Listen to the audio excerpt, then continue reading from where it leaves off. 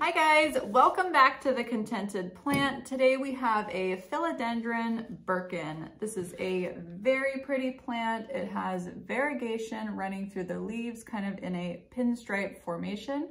And we're just gonna talk a little bit about the care and how you propagate it. So let's get started. So the Philodendron Birkins are native to South America. They have a tropical care that they want to follow. So what they like is a very humid, warm environment, and they like the soil to be kind of moist, but you don't wanna make it so it's drenched in water all the time. It is a member of the aroid family, so they don't like their roots to be super wet all the time. They can get root rot.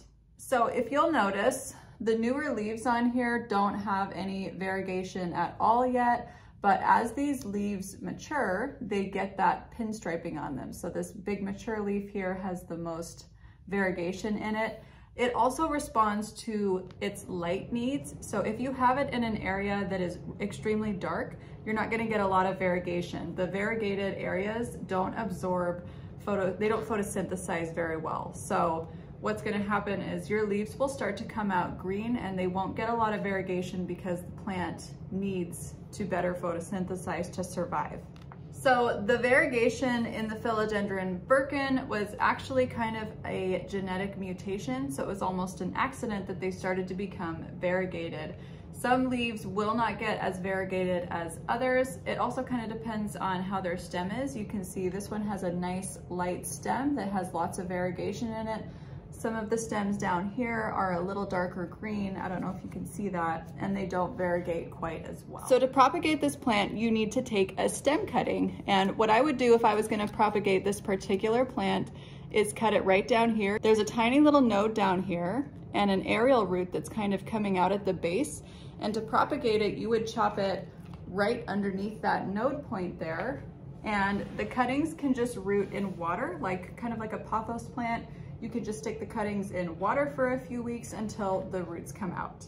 This plant is a little bit slower growing depending on the conditions in your house.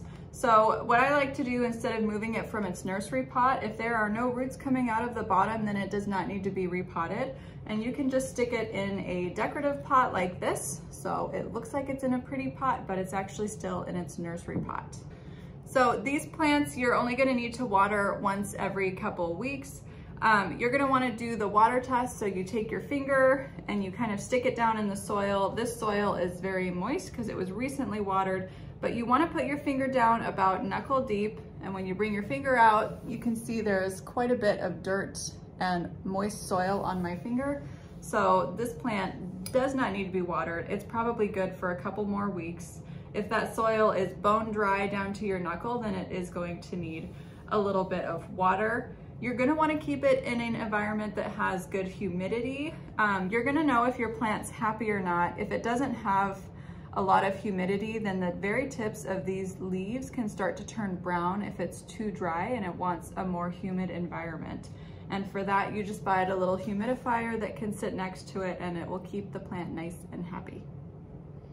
If you overwater this plant, the leaves will start to turn yellow, they will look sick, and at that point you would need to do probably a root check and I would take the plant out, take all the soil away from the roots and make sure that your roots aren't starting to rot from being overwatered.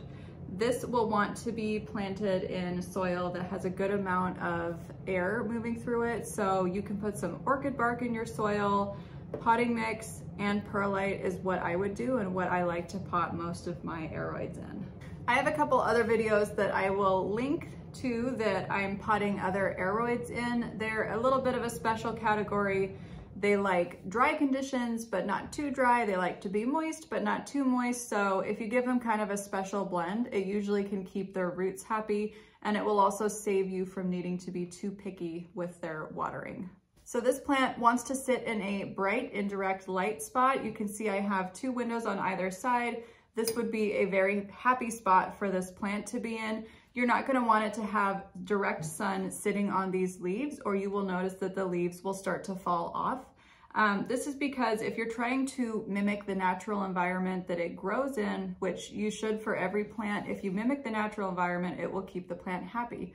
But it grows in basically a tropical forest. So lots of heat, lots of humidity, but lots of shade and bits of light coming through from the canopy of the rainforest. So it's not used to having huge amounts of direct light on it.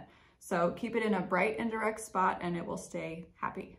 So this is a philodendron. A lot of philodendrons trail, but this one does not. It will grow about three feet tall, three feet wide at its maximum adult height. So I will have a care guide available on our website that I will link down below. If you guys have any more questions about the philodendron Birkin, please leave them down below. I would love to know if you have this plant and how you like it.